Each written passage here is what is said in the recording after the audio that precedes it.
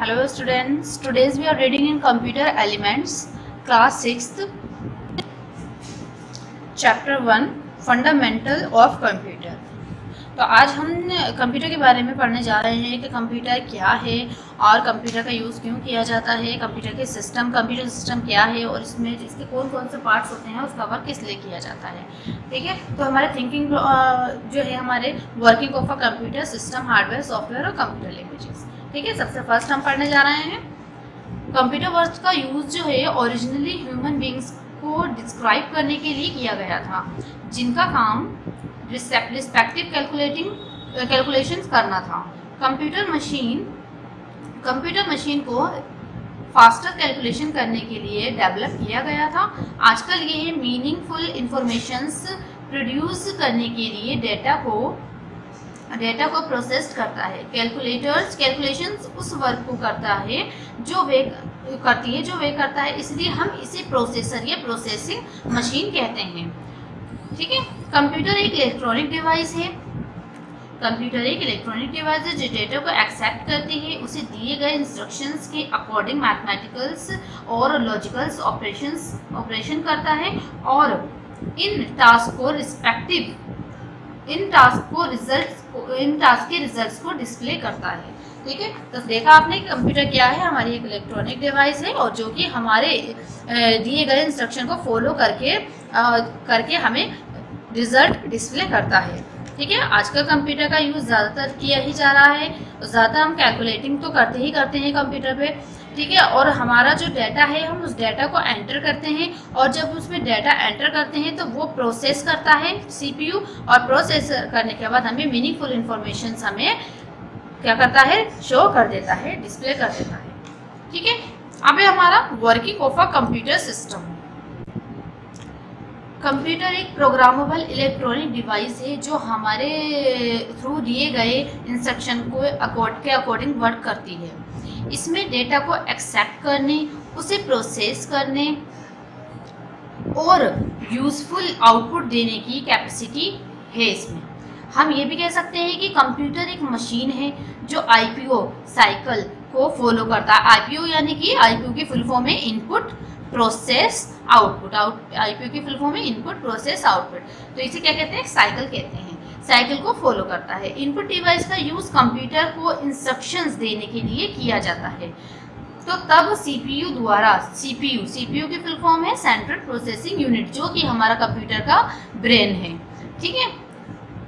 तो सीपीयू के through process होते हैं। प्रोसेसिंग के रिजल्ट्स के लिए आउटपुट डिवाइस पर डिस्प्ले करते हैं। एक कंप्यूटर डेटा और इंस्ट्रक्शन को स्टोर करने के लिए वेरियस मेमोरी यूज़ करता है। ठीक है कंप्यूटर डेटा को स्टोर करने के लिए एक वेरियस मेमोरी यूज़ करता है कंप्यूटर इलेक्ट्रिसिटी से चलता है और only two only two states को समझता है ऑन या ऑफ़ ठीक है?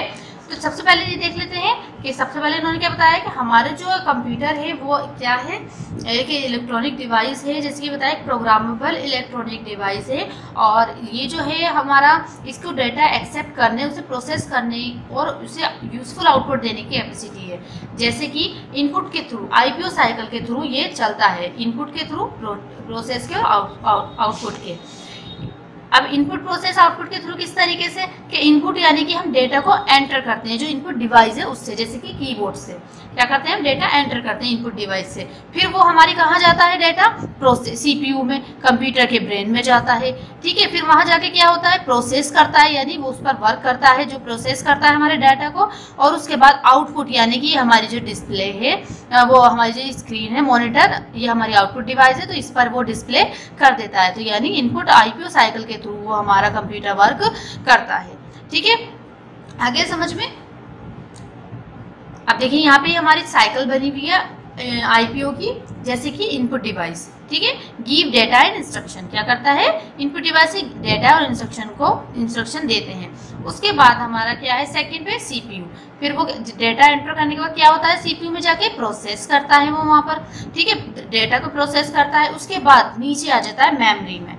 ठीक है स्टोर डेटा एंड इंस्ट्रक्शन ठीक है, क्या करता है मेमोरी में उस डेटा को वो स्टोर कर लेता है। वो फिर ऊपर जाता है यहाँ पे और यहाँ पे जाके डेटा को प्रोसेस करता है और उसके बाद फिर हमें क्या करता है यहाँ पर? Output display process data output यानी कि मॉनिटर पे हमें डेटा डिस्प्ले कर देता है। तो ये हमारा आईपीयू साइकिल का पूरा वर्क उन्होंने यहाँ पे बता रखा है। इसे आपको अपनी कॉपी में ऐसे ही साइकिल बनानी है सेम बिल्कुल। ठीक है, यहाँ तक आपको समझ आ गया? तो कंप्यूटर जो है हमारा एक इलेक्ट्रिसिटी से चलता है और ये ओनली टू स्टेप्स को समझता है ऑन या ऑफ़ ठीक है? ऑन को वन से रिप्रेजेंट किया जाता है और ऑफ़ को ज़ीरो से ही रिप्रेजेंट किया जाता है। ऑन ऑफ़ की भाषा यानी कि स्विच ऑन करना और स्विच ऑफ़ करना, सिर्फ़ ये समझता है। एक इनपुट डिवाइस हमसे डाटा और इंस्ट्रक्शन लेता है और उन्हें बाइनरी फेस में कन्वर्ट करता है। ठीक है? तो ये हमारा क्या था? कंप्यूटर के बारे में कि कंप्यूटर साइकिल किस तरीके की होती है, किसके थ्रू कंप्यूटर चलता है, कैसे इंस्ट्रक्शन लेता है, ठीक है? अब ये हमारा हार्डवेयर तो जैसे कि आप जानते हैं कि हार्डवेयर क्या होता है? सबसे पहले हम समझेंगे हार्डवेयर क्या होता है। हार्डवेयर कंप्यूटर के सभी फ़िज़िकल कंपोनेंट्स के सभी various electronic components display monitors mouse keyboard printers etcetera includes हैं इसमें हार्डवेयर में। ठीक है कौन कौन से हैं हमारे? Display monitors mouse keyboards printers ई तो ये क्या है हमारे? ये हमारे हार्डवेयर में इंक्लूड है। ये हमारे हार्डवेयर डिवाइसेस हैं। ठीक है, अब ये हमारा input device output device central processing और स्टोरेज डिवाइसेस इन्हें क्लासिफाइड किया गया है हार्डवेयर को इन अलग अलग नेम में। फ़र्स्ट है हमारा इनपुट डिवाइस सबसे पहले फ़र्स्ट वाला हम कहते हैं इनपुट डिवाइस इनपुट डिवाइस क्या है? इनपुट डिवाइस कंप्यूटर में डेटा या रो फैक्ट्स को लेने के लिए रिस्पॉन्सिबल है। सीपीयू प्रोसेसिंग के लिए रिस्पॉन्सिबल है और आउटपुट डिस्प्ले करने के लिए रिस्पॉन्सिबल है। ठीक है? समझ गए ना कि ये तीनों चीज़ें जो हैं, ये अपने अपने काम के लिए रिस्पॉन्सिबल है। इनपुट डेटा के लिए डेटा या रो फैक्ट्स के लिए और सीपीयू हमारा प्रोसेसिंग के लिए और आउटपुट हमारा डिस्प्ले के लिए रिस्पॉन्सिबल है। स्टोरेज डिवाइस फ्यूचर के यूज़ के लिए ये डेटा इन्फॉर्मेशन स्टोर करने के लिए रिस्पॉन्सिबल है। ठीक है, इन सब के अपने अपने काम हैं और ये अपने अपने काम के लिए रिस्पॉन्सिबल हैं। इनपुट और आउटपुट डिवाइस इनपुट और आउटपुट डिवाइस को पेरीपेरल्स डिवाइसेस भी कहा जाता है, जो कंप्यूटर सिस्टम से कनेक्ट और डिसकनेक्ट हो सकते हैं। ठीक है, ये कंप्यूटर सिस्टम से इनपुट आउटपुट डिवाइस कनेक्ट भी हो सकते हैं और डिसकनेक्ट भी हो सकते हैं। हो सकते हैं। कुछ पॉपुलर इनपुट डिवाइसेस नीचे लिस्टेड हैं, जैसे कि फ़र्स्ट कीबोर्ड ठीक है? फ़र्स्ट है हमारा कीबोर्ड एक कीबोर्ड सबसे ज़्यादा यूज़ किए जाने वाला इनपुट डिवाइस है। इसमें हमारा क्या है? कीबोर्ड सबसे ज़्यादा यूज़ किए जाने वाला इनपुट डिवाइस है। इसमें अल्फ़ाबेट नंबर्स और स्पेशल कैरेक्टर्स को एंटर करने के लिए कई तरह की कीज़ होती हैं। देखिए कीज़ हैं, आपने देखा होगा कंप्यूटर में इनपुट में तो अल्फ़ाबेट होता है और हमारे नंबर्स होते हैं। उसके अलावा भी कई स्पेशल कैरेक्टर्स को एंटर करने के लिए हर तरह की इसके अंदर कीज़ होती हैं। ठीक है, फिर है हमारा माउस माउस एक पॉइंटिंग डिवाइस है, जिसमें दो या तीन बटन होते हैं। ठीक है राइट लेफ़्ट और बीच में रोल करने के लिए। ठीक है, इसमें तीन बटन होते हैं। हम माउस बटन पर क्लिक करके कंप्यूटर को इंस्ट्रक्शन देते हैं। ये हमें मॉनिटर पर जितनी भी थिंग्स को ड्रॉ करने के पेंट करने के लिए सिलेक्ट करने के लिए हेल्प करता है ये। ठीक है, इसके थ्रू इसका अपना इतना ये वर्क है। ठीक है, फिर ये हमारा जॉयस्टिक ठीक है माउस हो गया कीबोर्ड हो गया, अब हमारा जॉयस्टिक जॉयस्टिक जो है, एक इनपुट डिवाइस है ये भी, जिसमें एक स्टिक होती है। ये एक हमारी स्टिक होती है, जो बेस से अटैच होती है। स्टिक एक पॉइंटर या कुछ अदर डिस्प्ले सिंबल के मूवमेंट को मूव और कंट्रोल करती है, ठीक है? और ये हमारा गेम के लिए भी ज़्यादा ये हमारा गेम के लिए यूज़ किया जाता है। कि हमारे इनपुट डिवाइस की लिस्टेड थी, ठीक है? इनका सबका अपना रिस्पॉन्सिबल है, ये डाटा इंस्ट्रक्शन के लिए के थ्रू ये हमारा एक डिवाइस से, एक फ़ाइल से दूसरी फ़ाइल तक जाने के लिए या कुछ भी पेंट या ड्रॉ करने के लिए, ये हमारा गेम्स वगैरह को, के सिंबल्स वगैरह को कंट्रोल करने के लिए, ठीक है?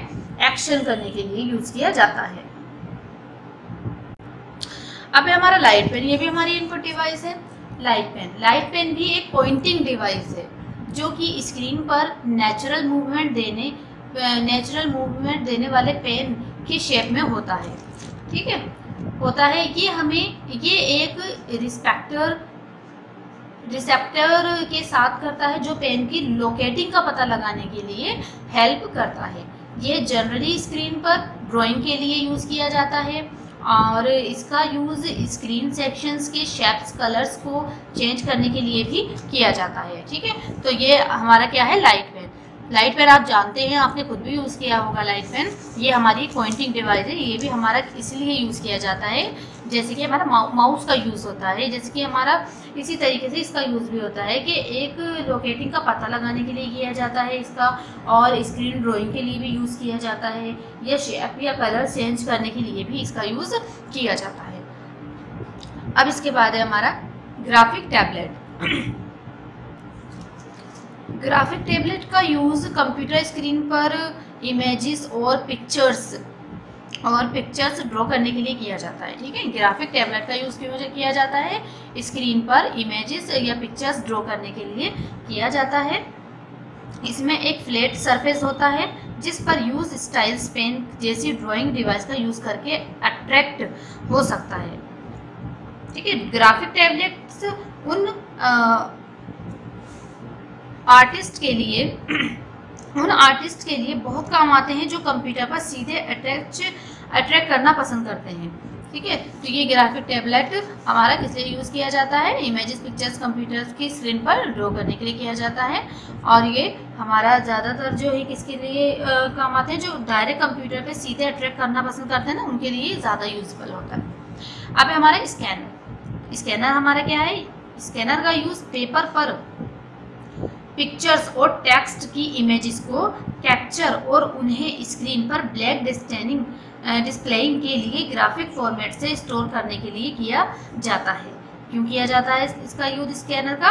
हमारा इसलिए किया जाता है जो हमारी पिक्चर्स वगैरह होती हैं इमेजेस या टेक्स्ट होते हैं, उन्हें कैप्चर करने के लिए किया जाता है और उन्हें सिस्टम के साथ और उन्हें स्क्रीन या या बैक पर डिस्प्ले करने के लिए ग्राफिक्स फॉर्मेट में स्टोर करने के लिए भी किया जाता है, ठीक है? अब हमारा टच स्क्रीन ठीक है? टच स्क्रीन आपने देखा ही है कि हमारे फ़ोन तो खैर हैं ही टच वाले, लेकिन जब हम अकाउंट वगैरह के लिए देखा होगा, आपने एटीएम वगैरह के लिए जब जाते हैं एटीएम से पैसे निकालने वहाँ पे भी हमारी इस तरीके की टच स्क्रीन होती है। जिसमें आप, जैसे हम फ़ोन में टच करके करते हैं, उस तरीके से हम यहाँ पे टच करके अपने पैसे वगैरह निकालने के लिए अपना पासवर्ड डालना या आपको जितने पैसे निकालने हैं, वो डालने के लिए आप यूज़ करते हैं, ठीक है? टच स्क्रीन का यूज़ आपने देखा ही होगा, अगर आप एटीएम वगैरह से पैसे निकालने के लिए गए हैं तो। ठीक है? टच स्क्रीन जो है एक मॉनिटर स्क्रीन है ठीक है? मॉनिटर की तरह ही होती है सेम बस क्या है हमारे कंप्यूटर का जो मॉनिटर होता है उसे हम टच नहीं कर सकते वो टचिंग का नहीं होता लेकिन हमारी ये वाली टच स्क्रीन जो होती है हमारी मॉनिटर की तरह शो होती है बिल्कुल। जो अलाउड है करने के लिए कंप्यूटर अलाउड है यूज़र्स को इंट्रैक्ट करने के लिए कर, स्क्रीन को टच करने के लिए एक कंप्यूटर सिस्टम के साथ कन्वर्सेशंस एक कंप्यूटर सिस्टम के साथ कन्वर्सेशन के लिए अपने वेरियस बैंक के एटीएम में टच स्क्रीन कंप्यूटर देखे होंगे। ये उसके ही यूज़ किया जाता है। एटीएम यानी ऑटोमेटिक टेलर मशीन ठीक है, ये हमारी टच अपने एटीएम के लिए ज़्यादातर आपने देखा होगा, ये वहाँ यूज़ की जाती है। ठीक है, अब है हमारा, अब माइक्रोफोन माइक्रोफोन का यूज़ किया जाता है और ये क्या है? माइक्रोफोन एक इनपुट डिवाइस है जिसका यूज़ आपको वॉइस और साउंड को रिकॉर्ड करने के लिए किया जाता है। ठीक है? माइक्रोफोन का। यूज़ ये आप देख देख सकते हैं ये कि ज़्यादातर स्कूलों में भी जब हमारे जो ऑनर होते हैं, हमारे प्रिंसिपल होते हैं, वो कुछ अनाउंस करना चाहते हैं, तब भी इसका यूज़ किया जाता है। वहाँ पर लगा होता है टेबल पे। उसके अलावा अलावा वॉइस वगैरह रिकॉर्ड करने के लिए साउंड इसका यूज़ किया जाता है। फिर हमारा डिजिटल कैमरा इस डिवाइस का यूज़ कंप्यूटर में फोटोग्राफ और वीडियोस इनपुट एंटर करने के लिए किया जाता है। बाद में इन्हें कुछ सॉफ्टवेयर की हेल्प से एडिट किया जाता है, जो कि जो कि स्पेशली इस पर्पज़ के लिए डिज़ाइन किया गया है। ठीक है, आगे समझ में ये आपने देखा ही होगा, ये तो हमारा डिजिटल डिजिटल कैमरा है, ज़्यादातर यूज़ किया जाता था। अब हमारे फ़ोन के कैमरे चल गए हैं, हम फ़ोन में फ़ोटोज़ वगैरह क्लिक कर लेते हैं। तो हमारे डिजिटल डिजिटल कैमरा जो है, ये इसमें फ़ोटो क्लिक करे जाते हैं फ़ोटोज़ या वीडियोज़ बनाई जाती है और उसके बाद दूसरे सॉफ्टवेयर की हेल्प से इसे और ज़्यादा एडिट और अट्रैक्टिव करके इसे बनाया जाता है। लेकिन खासकर जो है, ये हमारा इस पर्पज़ के लिए डिज़ाइन किया गया है, जो कि स्पेशली इसी पर्पज़ के लिए डिज़ाइन किया गया है हमारा। ठीक है, फिर हमारा वेब कैमरा वेब कैमरा? जो वेब कैमरा है हमारा ये एक वेब कैमरा या वेब कैम्स एक डिजिटल कैमरा होता है। क्या होता है? वेब कैम वेब कैमरा हमारा एक वेब कैम डिजिटल कैमरा होता है जो मोस्टली हमारा जो आ, है हमारा पर यूएसबी इंटरफेस के थ्रू से कंप्यूटर से कनेक्ट होता है ये। ये हमारा जो वेब कैमरा होता है ये हमारा मोस्टली जो है हमारा यूएसबी कंप्यूटर से एक यूएसबी इंटरफेस कंप्यूटर से ये हमारा कनेक्ट होता है। वेब कैम सॉफ्टवेयर के साथ आते हैं। वेब कैम सॉफ्टवेयर के साथ आते हैं, जो यूज़र्स को वीडियोस रिकॉर्ड करने और वीडियोस को वेब पर भेजने के लिए अलाउड किया जाता है। कई लैपटॉप एक इन बिल्ट वेब कैमरा और माइक्रोफोन के साथ आते हैं। ठीक है, कई जो है हमारे लैपटॉप वो इनबिल्ट वेब कैमरा और माइक्रोफोन के साथ आते हैं। बाकी जो ये हमारा अलाउड है, वो हमारे वीडियोस वेब पर भेजने के लिए अलाउड है। वीडियोस को वेब पर, जो हमारी वेबसाइट्स होती हैं। पर भेजने के लिए ये अलाउड है तो यहाँ तक आपको समझ आ गया अच्छे से कि हमने अभी कंप्यूटर के सबसे पहले पढ़ा कि हमारे कंप्यूटर में क्या क्या बताया गया है कंप्यूटर के बारे में और हमारा कंप्यूटर का यूज़ क्यों किया जाता है, कंप्यूटर किस तरीके से वर्क करता है, किस तरीके से इंस्ट्रक्शन लेता है और किन किन डिवाइसेस के थ्रू वो इंस्ट्रक्शन लेता है। आईपीओ साइकिल के बारे में मैंने आपको बताया, वो साइकिल आपको बनानी भी है। उसके बाद मैंने अभी हार्डवेयर के बारे में बताया आपको कि हार्डवेयर के उन कौन कौन से होते हैं, यहाँ पे नाम भी लिखे हैं। तो इसमें आपको क्या करना है, इसमें आपको हार्डवेयर कॉपी में जो नोट करना है, इसको हाथ के साथ साइकिल बना देंगे आईपीओ साइकिल, उसके साथ आपको हार्डवेयर हेडिंग डालकर उसके सामने हार्डवेयर लिखने हैं कि कौन कौन से हार्डवेयर डिवाइसेस हैं हमारी। इनपुट डिवाइसेस हमारी पिक्चर के साथ दे रखी है उन्होंने और इनका वर्क दे रखा है। अभी इसके बारे में समझाया गया है आपको। इसे आपको अपनी कॉपी में नोट करना है। कीबोर्ड कीबोर्ड का वर्क क्या है? माउस माउस का वर्क क्या है? और जॉयस्टिक जॉयस्टिक का वर्क क्या है? यहाँ आपको light pen graphic tablet scanner touch screen microphone digital camera web camera के बारे में बताया गया है। आपको इनके बारे में थोड़ा थोड़ा एक्सप्लेन करना है कॉपी में लिखकर। और अगर आप चाहें तो आप इसकी पिक्चर भी ड्रॉ कर सकते हैं। ठीक है? यहाँ तक का आपका काम हो गया। अब है हमारा मैग्नेटिक इंक कैरेक्टर रीडर आर ठीक है? मैग्नेटिक इंक कैरेक्टर रीडर जो है हमारा M I C R input device generally banks में एवरीडे लार्ज नंबर में चेक यूज़ के लिए यूज़ किया जाता है। क्योंकि यूज़ किया जाता है? ये हमारा बैंक में, हमारा किस लिए यूज़ किया जाता है? बैंक में एवरीडे लार्ज नंबर में में चेक यूज़ के लिए यूज़ किया जाता है। बैंक कोड्स नंबर्स और चेक यूज़ और चेक्यूज नंबर्स एक स्पेशल इंक से प्रिंटेड होते हैं, जिसमें मैग्नेटिक मटेरियल के प्रैक्टिकल्स होते हैं। पार्टिकल्स होते हैं, जिसमें जो मशीन रीडेबल होती है, होते हैं। एक M I C R character reader करता है और कंप्यूटर को इनपुट के फेस में भेजता है। एम आई सी आर का मेन एडवांटेज ये है कि ये फास्ट और लेस एरर फ़ोन होता है। ठीक है? समझ आ गया? सबसे ज़्यादा जो इसका मेन हमारा क्या है? मेन इनपुट इसका कि ये मेन एडवांटेज क्या है इसका? कि ये फास्ट होता है और लेस एरर फ़ोन होता है ठीक है? इसका यूज़ बैंकों में किया जाता है। अब है हमारा optical mark reader O M R जो हमारा ऑप्टिकल मार्क रीडर है ओ एम आर एक स्पेशल टाइप का ऑप्टिकल है। पेन या पेंसिल के थ्रू बनाए जाते हैं। मार्क को पेपर के स्पेशली डिज़ाइन की गई है। शीट्स को रिकॉग्नाइज के लिए यूज़ किए जाने वाला स्कैनर है। यह स्पेश ये स्पेशली मल्टीपल चॉइस की क्वेश्चन जो होते हैं, वाले एग्जामिनेशंस की आंसर शीट की चेकिंग के लिए यूज़ किया जाता है, जिसमें एक आंसर को सिलेक्ट और मार्क करना होता है। ठीक है? देखिए, अच्छे से समझेगा ये जो हमारा है optical mark O M R देखो, ये आपने देखा होगा, आपका जो एग्ज़ाम ज़्यादातर आते हैं, जिसमें आपको सर्कल करना होता है, आपको छोटे छोटे गोले फिल करने होते हैं राइट आंसर पर। ठीक है? तो आप ध्यान से इसे देखिएगा कि ओ एम आर क्या है। ये एक स्पेशल टाइप का ऑप्टिकल होता है पेन या पेंसिल के थ्रू बनाए जाते हैं ये। ठीक है? जो ऑप्टिकल मार्क यानी गोल गोल सर्कल में फिल करना होता है, जो आंसर होता है उसके सामने वाले सर्कल से फिल करना होता है। ठीक है मार्क को पेपर को स्पेशली शीट्स की गई मार्क पेपर की जो स्पेशली डिज़ाइन की गई जाती है शीट्स रिकॉग्नाइज के लिए उसे किए जाने वाला स्कैनर कहते हैं। ये किस तरीके का स्कैनर होता है? जो स्पेशली ये शीट्स क्या की जाती है? डिज़ाइन की जाती है इस तरीके की। ठीक है? की जाती है ये स्पेशली मल्टीपल चॉइस जो क्वेश्चंस होते हैं ना, ये एग्ज़ाम में एग्जामिनेशन में जो आते हैं एग्ज़ाम में मल्टीपल चॉइस क्वेश्चन के उनके लिए ज़्यादा यूज़ किया जाता है। और ये पेपर को एग्जामिनेशन से आंसर शीट्स जो होती हैं, उन्हें चेक करने के लिए इसका यूज़ किया जाता है ऑप्टिकल मार्क्स का ओ एम आर का, ठीक है? अब है हमारा बारकोड रीडर बारकोड रीडर जो, ये आपने देखा होगा, आपने ज़्यादातर ये तो देखा ही होगा आप मॉल्स वगैरह जाते होंगे मॉल से जाते होंगे, या होलसेल वगैरह कहीं पे आप शॉपिंग के लिए जा रहे हैं, या आप होलसेल जा रहे हैं, कुछ खरीदने को वहाँ पे इसका यूज़ किया जाता है। एक बारकोड वर्टिकल लाइंस का ग्रुप है, एक बार, एक बारकोड रीडर एक डिवाइस है, ठीक है? एक डिवाइस है जिसका use goods, books etcetera labels में बारकोडेड डेटा को रीड के लिए किया जाता है। आपने देखा होगा, हम फ़ोन लें, हम छोटे से छोटा शैम्पू लें, चाहे, उन सब में इस तरीके का एक बारकोड होता है।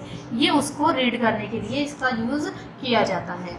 यह एक बारकोड इमेजेस को स्कैन करता है, ठीक है? इससे ये स्कैन इस तरीके से करता है। इसे अल्फ़ाबेट इसे इसे एल्फोन्यूमेरिक में कन्वर्ट करता है, जो बाद में इस कंप्यूटर को फील करता है, जिससे बारकोड रीडर कनेक्ट हो जाता है। ठीक है? तो ये बारकोड रीडर आपने देखा ही होगा, आप मॉल वगैरह जाते होंगे, आप कुछ खरीदते होंगे, जिससे ये बारकोड स्कैन करने के लिए इसका यूज़ किया जाता है। ठीक है? है हमारा सीपीयू सेंट्रल प्रोसेसिंग यूनिट यानी जो कंप्यूटर का ब्रेन है, जो कि हम डाटा एंटर करते हैं कंप्यूटर में, वो सबसे पहले प्रोसेस जो होता है, वो कंप्यूटर के ब्रेन में जाके होता है। जैसे कि हमारा बॉडी में ब्रेन है, हमारा दिमाग है कि हम जो भी बात करते हैं, सोचते हैं, वो हमारे माइंड में फ़ीड होता जाता है। उसी तरीके से सेंट्रल प्रोसेसिंग यूनिट सी हमारे कंप्यूटर का ब्रेन है, जो भी हम उसे इंस्ट्रक्शन देते हैं डेटा एंटर करते हैं, वो क्या होता है, वो उसमें जाकर ब्रेन में फ़ीड हो जाता है। सीपीयू कंप्यूटर सिस्टम का सबसे इम्पोर्टेंट पार्ट है।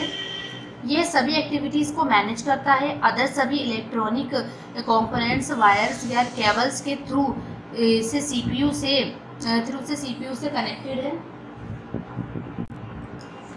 एक्चुअल प्रोसेसिंग इस यूनिट्स इस यूनिट्स के अंदर किया गया है। इसलिए इसे कंप्यूटर का दिमाग कहा जाता है। ये कीबोर्ड के थ्रू इनपुट लेता है। इसे स्टोर्स करता है। सभी प्रोसेसिंग एंड कैलकुलेशंस करता है। और आपके अकॉर्डिंग मॉनिटर पर रिजल्ट्स डिस्प्ले करता है। ठीक है सीपीयू का वर्क आपको समझ आ गया। ये हमारे कंप्यूटर का सबसे इम्पोर्टेंट पार्ट है।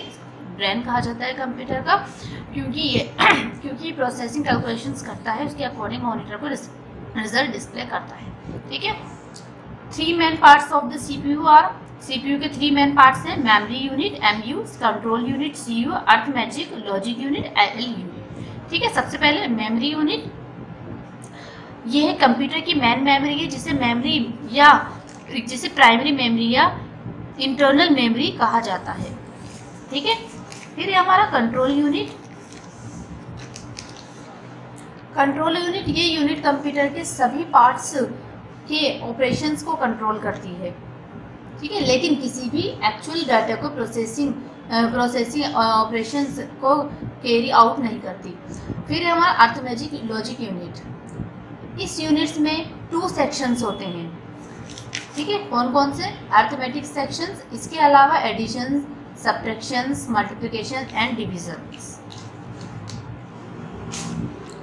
ठीक है? तो ये हमारा हो गया आपका, हमारा इस चैप्टर का फ़र्स्ट चैप्टर का फ़र्स्ट पार्ट है। ये हमारा आगे का सेकंड पार्ट हम नेक्स्ट वीडियो में डिस्कस करेंगे। अभी तक का मैंने आपको जो भी वर्क बताया है कि आपको जो होमवर्क में काम करना है, जो मैंने समझाया इसे तो आपको अच्छे से पढ़ना ही है, समझना है। उसके अलावा जो मैंने आपको समझाया है पीछे जितने भी हमारी डिवाइसेस हैं इनपुट हैं आउटपुट हैं, और हमारी, ये हमारा एम है ओ एम आर है बारकोड रीडर है सी पी यू है, और हमारे थ्री पार्ट्स हैं M U C U L U तो इनको आपको अपनी कॉपी में इन सारी शॉर्ट फॉर्म और इनकी फुल फॉर्म नोट करनी है आपको। ठीक है? ये आपका इसका होमवर्क है। अच्छे से वीडियो को देखिए, इसे समझिए। हमारा बहुत इंपॉर्टेंट चैप्टर है। हमारा बहुत इंपॉर्टेंट सब्जेक्ट है कंप्यूटर क्योंकि हमारा जो यूज़ किया जाता है कंप्यूटर का, आने वाले वक्त में तो हो ही रहा है। अभी प्रेजेंट में भी हमारा इसका यूज़ बहुत किया जा रहा है। जितनी भी डिवाइसेज मैंने बताई, सारी कंप्यूटर से कनेक्टेड हैं।